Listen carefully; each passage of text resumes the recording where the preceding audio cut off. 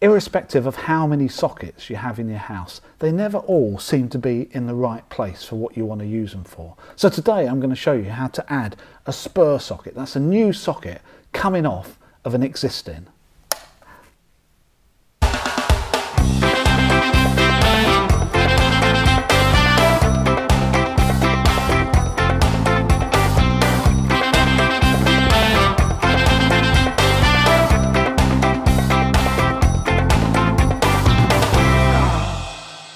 So the problem that I'm going to solve today is that in my hallway there's this really nice alcove that's just crying out for a side table and a lamp on it. So I haven't quite got the side table yet, but since we've moved in, I've been using my mixer touring case just to be able to put a lamp on. But the problem I have is there is no 240 volt socket anywhere near it. So I've been running a temporary extension lead under the door and round into the socket in the living room, which is really naff and time that I sorted it out. So today's little project is to install a new 240 volt socket the other side of the wall from where it currently is.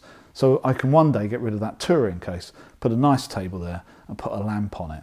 Now the first thing I need to do is work out what type of wall this is. When I knock on it, it sounds fairly hollow, but I'll only really find out once I take that socket out. So the first thing I need to do is to turn off the electricity and open that socket. I start by using my normal routine of plugging in my socket tester that has an audible tone and then turning off the correct breaker in the consumer unit, which I know I've got because the tester stops making a noise. Then, once the socket is off, I double check with my electrical neon screwdriver, which, although every electrician wants to tell me is a highly dangerous tool, I still can't find any details of any accidents that have been caused by these. And all the big DIY shops are still selling them, which I don't think would happen if they were being sued regularly. So I've taken off the socket and I've just taped up with insulation tape the earth, the neutral and the live. Not because I'm worried about getting a shock, because this is all isolated anyway, but if any of these touch each other, there's a very good chance that the RCD in the consumer unit will trip out, which means that the electricity to the whole house will be cut, including the fridge and the freezer, which I don't really want. So it's easiest just to tape these up, so while I'm working around it, they don't accidentally touch each other and trip that out. So now the socket is off, what I'm very interested to see is that the back box is actually a galvanised back box that's been plastered in. I must admit, because I thought this wall was hollow, and this is an internal wall, I thought this was a stud partition with plasterboard either side and timber in the middle. But it's obviously not, because this has been plastered in, and this is a galvanised back box. I know that this is going to be blockwork wall here, with plasterboard on either side that's been stuck on. It's what we call dot and dab wall. So that changes a couple of things. Firstly, rather than just pushing the cable through this void here to meet the plasterboard the other side, I'm now going to have to drill a hole through this masonry for the cable to go through. But mainly it means that the back box I fixed to the other side of the wall, rather than it being a lightweight plastic one that just clips to the plasterboard, I'm going to have to replicate this and fix a galvanised one that's going to be recessed into the blockwork, which means a little bit more drilling and maybe a bit of work with a chisel to get that fixed in. Then I have to plaster it in and fix it in place and make good around the perimeter. So a little bit more work there, but it is what it is. So I think I'll, first of all, I need to take out one of these knockout panels and drill a hole through this wall. All galvanised metal back boxes have small knockout plugs in the back and the sides, one of which needs to be removed before I can drill this hole. I'm using my trusty damaged screwdriver for this, which comes in handy for so many jobs. If you don't have a damaged screwdriver, then just use a normal one and it will be damaged soon enough. I choose a drill bit slightly wider than the twin and earth cable that I'm using, which just happens to be an SDS drill bit, but can still be used in standard drills if you chuck them right.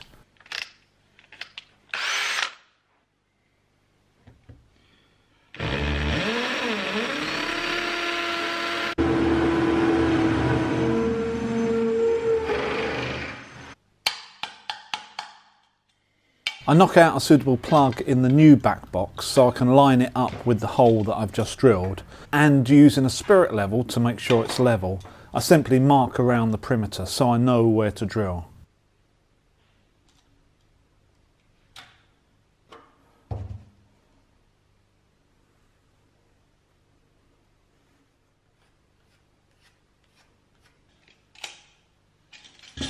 I'm using a 35mm deep box for this, so I put some tape on the drill at 40mm to help me control the depth of hole.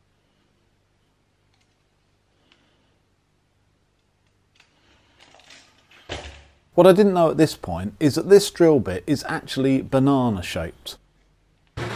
As soon as I started drilling, I thought I hadn't put it in the chuck properly, so I tried again just to realise that it just isn't straight. So after throwing that in the bin, I moved on to a new 6mm bit, which I know is definitely straight.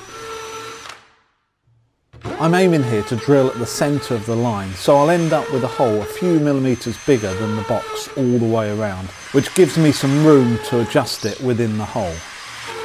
This type of drilling is called stitch drilling, where essentially the holes start meeting up, forming a channel rather than just individual holes.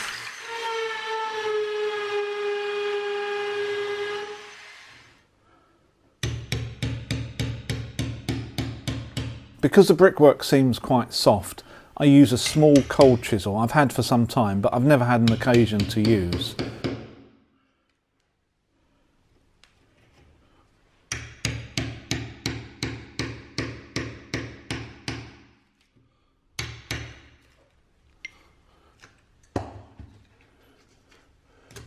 It wasn't long before I had the majority of the material out and I could tidy up the sides and the corners.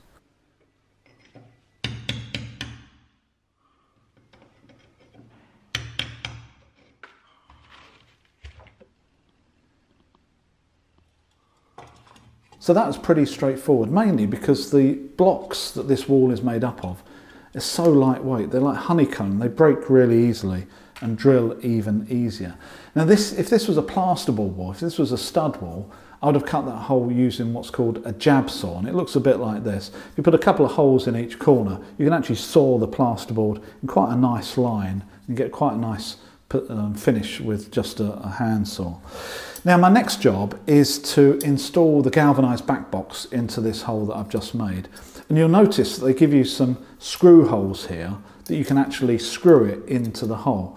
And I would highly advise not doing that at this time. You see the, the back of the hole that I've just made is rough to say the least. And if you're going to screw that in, this is going to end up at all different types of angles and definitely not in the right place in and out. So what I like to do is to essentially glue these in place. And you can use different materials to do that. Plaster is a really good medium to plaster the back and then stick it in. You can also use construction adhesive. What I'm using today is this plaster filler, which is a bit like plaster. I'm going to put two large blobs on the back and then squidge this into the hole. And that means that I can level it and get it into the right position and backwards and forwards quite precisely before filling around the outside and letting all that go off. Only once that's got some strength will I then drill some holes here and fix with some screws. So, time to get a bit messy. To ensure the plaster or adhesive sticks to the blocks in the back of the hole, it's important to first remove any dust or debris. I'll also take the opportunity just to trim any ragged edges of the exposed plasterboard at this point. I ended up putting three large blobs of filler on the back of the box. It doesn't really matter how many, as long as you keep clear of the knockout hole so you don't have to re-drill it.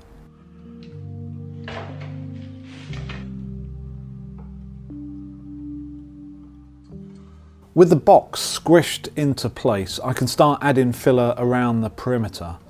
Gradually, the more you put in, the tighter everything gets, although you do still have the ability to adjust its position.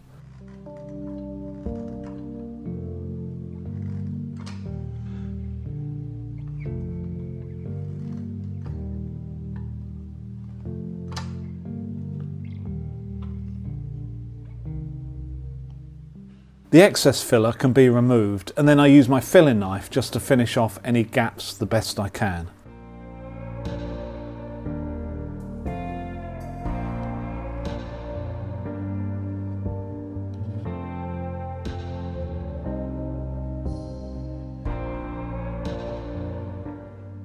I left this overnight to cure and now it's absolutely solid and stuck in there. That's never ever going to come out. I was going to put a couple of screws in the back, but I don't think I'll bother because the only way that's ever going to come out is if someone drills around it to rip it out. I must admit, I did come back to it a couple of hours after I stuck it in just to tidy up around this edge.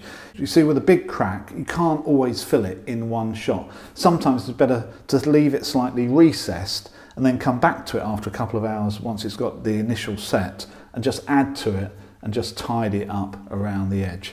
This is still a little bit rough so I need to do a little bit of sanding and then I'm going to paint it. I've got a big tub of paint and a very small paintbrush. However, having said that, most of this you'll never see because the first five or seven millimeters all the way round is going to be covered by the electrical socket. So most of that you'll never ever see. The other little job I've got to do is I need to fit one of these electrical grommets in the hole, the knockout panel at the back. You see with the cable go through the knockout panel, you've got a rough edge there and it's good practice to put one of these rubber grommets on so the cable can never get damaged. Now that would have been a lot easier for me to do when this back box was out before I put it in, but I forgot about it. So I now have to put that in. There's nothing like a challenge, is there? I also need to do the same for the other side where I've got the original back box that I knocked out the knockout panel and uh, get one of these in, so just to make the job complete. So I'm going to rub that down, paint that. While that's drying, which is only going to be 10 or 15 minutes, I'm going to go around to the other side, install the socket, and then come back and finish off.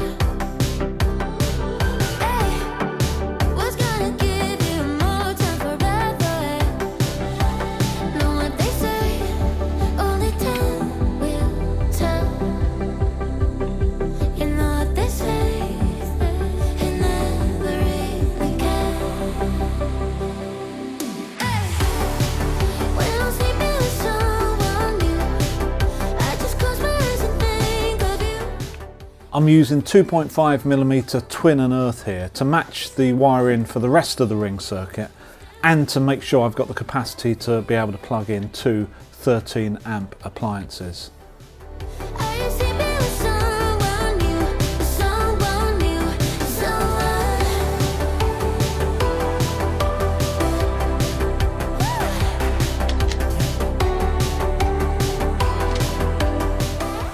The socket I'm using here is the new MK Logic Plus Rapid Fix, which uses clips rather than screws to clamp onto the wires. So I prepare the existing wires by straightening them and trimming them to length. The great thing about this new type of socket from MK is that each wire has its own connector, so I can be sure that I still have continuity around the ring circuit, which is important, while not having to try to fight to get three wires into one hole successfully. Just close my eyes and think of you When I'm sleeping with someone new, new I can't help myself, I wanna The rules are that only one spur socket is allowed to be connected to an existing socket. So if you want to run more than that from a single socket, you can, but you'll need to add some protection to the new circuit in the form of a fuse connection unit. With the existing cables connected, I cover the bare earth lead and connect in my short length of new cable that goes to the new socket.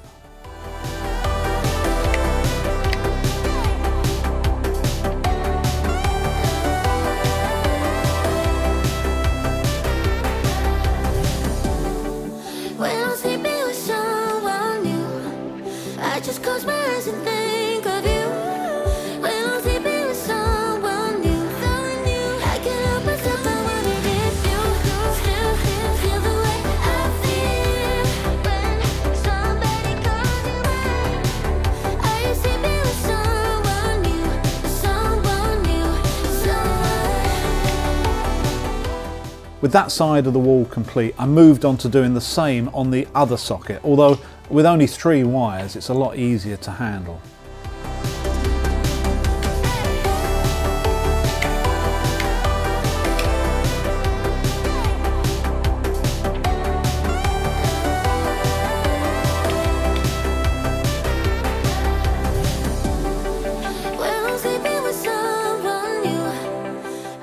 With the electricity switched back on, I can test both sockets with the socket tester and the job is done. Simple pleasures. Don't you just love it when a plan comes together? Although this thing I think is probably going to stay here longer than I had first suspected. So I hope you've enjoyed this video. If you have, please check out the other ones on my channel and please subscribe. And if you have subscribed, don't forget to hit that notification button, which means you won't miss any future videos. So until next time, I think I'm just going to sit here and play with this.